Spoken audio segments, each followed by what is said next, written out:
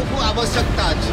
ମାଲକାନଗିରିରେ ଅର୍ଗସ୍ ପ୍ରତିନିଧିଙ୍କ ସହ ପାଞ୍ଚ ସାମ୍ବାଦିକଙ୍କୁ ପୋଲିସ ଗିରଫ କରିବା ଘଟଣାକୁ ନେଇ ଏକାଠି ହେଲେ ସାମ୍ବାଦିକ।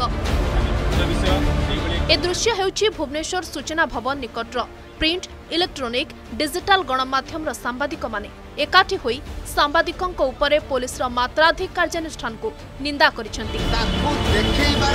ଯେଉଁ ସାମ୍ବାଦିକ ଗିରଫ ହୋଇଛନ୍ତି ସେମାନେ ନକ୍ସଲ ନୁହନ୍ତି। ସେମାନଙ୍କୁ ଥାନାକୁ ଡାକି ଆଲୋଚନା କରିପାରିଥାନ୍ତା ପୋଲିସ। ମାଓବାଦୀ ଭଳି ରାତି ଅଧରେ ପୋଲିସ ଗିରଫ କରିବା ନିନ୍ଦନୀୟ। ରାତି ଅଧରେ ଫୋର୍ସ ଲଗାଇ ବଳପୂର୍ବକ ଗିରଫ କରିଛି ପୋଲିସ। ସାମ୍ବାଦିକଙ୍କ ସୁରକ୍ଷା ପାଇଁ ସାମ୍ବାଦିକ ସୁରକ୍ଷା ଆଇନ ଆଣିବାକୁ ପୁଣି ଥରେ ଦାବି ଉଠିଛି। ପୋଲିସ ଚାପରେ ପଡ଼ି ସାମ୍ବାଦିକଙ୍କୁ ଗିରଫ କରି ଫରୱାର୍ଡ କରିଛି ସେଥିପାଇଁ ଘଟଣାରେ ଉଚ୍ଚସ୍ତରୀୟ ତଦନ୍ତ ଦାବି ହୋଇଛି। ସାମ୍ବାଦିକମାନଙ୍କ ବାକ୍ ସ୍ୱାଧୀନତା କ୍ଷୁର୍ଣ୍ଣ କରିବା ଅତି ନିନ୍ଦନୀୟ। ପୋଲିସ ଚାପରେ ପଡ଼ି କ୍ରୋଧବଶତଃ ସାମ୍ବାଦିକଙ୍କୁ ଗିରଫ କରିଛି। ସାମ୍ବାଦିକଙ୍କ ନାଁରେ ହୋଇଥିବା ମାମଲା ତୁରନ୍ତ ପ୍ରତ୍ୟାହାର ପାଇଁ ଦାବି ହୋଇଛି। ସାମ୍ବାଦିକମାନେ ଏକାଠି ହୋଇ ଡିଜିଙ୍କ ଉଦ୍ଦେଶ୍ୟରେ ପୋଲିସ କମିଶନରଙ୍କୁ ସ୍ମାରକପତ୍ର ପ୍ରଦାନ କରିଛନ୍ତି।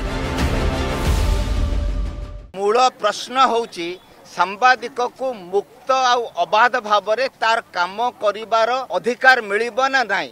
ସାମ୍ବାଦିକ जो जाऊँगी निज जीवन को भी विपन्न करुच्ची लोक समस्या को उठाऊ आमर डिमांड हूँ आम एक्सप्रेस करुचु सहित आम आम एकाठी रहीचु अन्याय भाव में गिरफ्त कर प्रशासनिक आक्रोश प्रशासनिक आक्रोशर शिकार होती से अविलम्बे गिरफ मुक्त कर मुक्त कर डिमांड अच्छी तीन टाइम डिमांड अच्छी যে প্রথমত সে কেস তাঙ্কু ইয়ে নেছেন তাঙ্কু অনকন্ডিশনাল রিলিজ করা যাও অনকন্ডিশনাল রিলিজ করাকু হলে তাঙ্ক বিরুদ্ধে যে কেস হয়েছি দ্যাট মস্ট বি ড্রপ সে কেস কু তাকু পুরা বন্ধ করা পড়ব আমি এই গিরফদারির উত্তর হচ্ছে আমি গিরফদারি দেবু অর্থাৎ আপনার রাজ্য স্তরের যেতে অধিক সাংবাদিক গিরফ করবে আমি প্রস্তুত অছু গিরফদারি দেওয়া তেমন গিরফদারির উত্তর কেবল গিরফদারি দিয়ে যাব ପାଇଁ ତେଣୁ ଗିରଫଦାରୀର ଉତ୍ତର କେବଳ ଗିରଫଦାରୀରେ ଦିଆଯିବ ଇଏ ହେଉଛି ମୋର ସରକାରଙ୍କ ଉତ୍ତର ତୁରନ୍ତ ଏଇ ଯେଉଁ ଦାବିପତ୍ରକୁ ଡିଜି ସାର୍ଙ୍କ ପାଖକୁ ପ୍ରେରଣ କରିବି ତା ବ୍ୟତୀତ ମୁଁ ଡିଜି ସାର୍ଙ୍କୁ ଟେଲିଫୋନ୍ରେ ବି ଆପ୍ରାଇଜ୍ କରିଯିବି କରିବି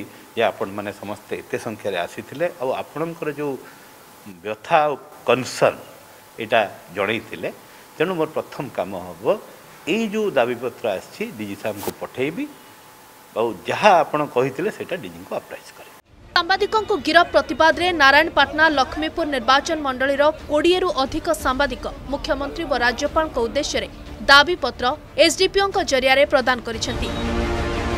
ସାମ୍ବାଦିକମାନଙ୍କୁ ତୁରନ୍ତ ଖଲାସ କରିବା ସହିତ ମାମଲା ପ୍ରତ୍ୟାହାର ପାଇଁ ଦାବି ଉଠିଛି।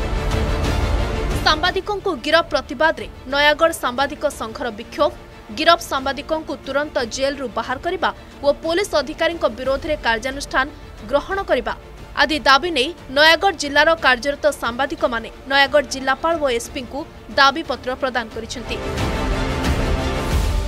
ଗଣତନ୍ତ୍ରର ଚତୁର୍ଥ ସ୍ତମ୍ଭ ହେଉଛନ୍ତି ସାମ୍ବାଦିକ। ସାମାଜିକ ସମସ୍ୟାକୁ ସରକାରଙ୍କ ଦୃଷ୍ଟିକୁ ଆଣି ତାର ନିରାକରଣ କରିବା ପାଇଁ ସାମ୍ବାଦିକମାନେ ଲାଗିଥିଲେ।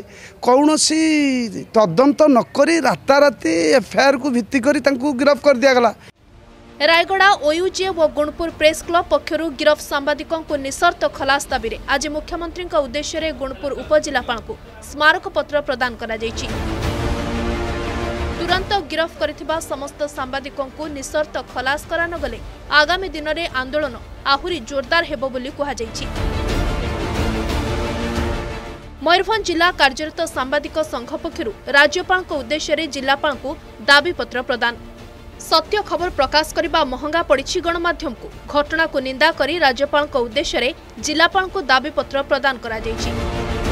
Bureau report Argus news.